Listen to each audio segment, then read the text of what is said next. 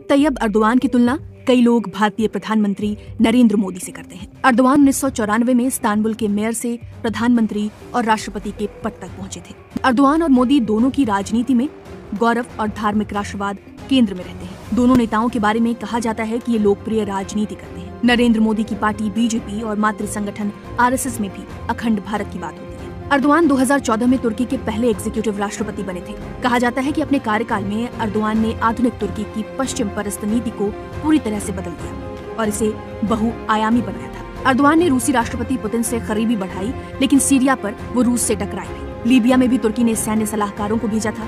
इसके अलावा अजरबैजान और आर्मीनिया के संघर्ष में अर्दवान ने खुलकर अजरबैजान का समर्थन किया। वॉशिंगटन इंस्टीट्यूट में टर्किश रिसर्च प्रोग्राम के निदेशक सुनेर कगाप्तिया ने अर्दवान पर अ सुल्तान इन ऑटोमन नाम से एक किताब लिखी है। इस किताब में उन्होंने लिखा है अर्दवान ने सत्ता में रहने के दौरान खुद को उम्मीद से ज़्यादा मज़बूत किया।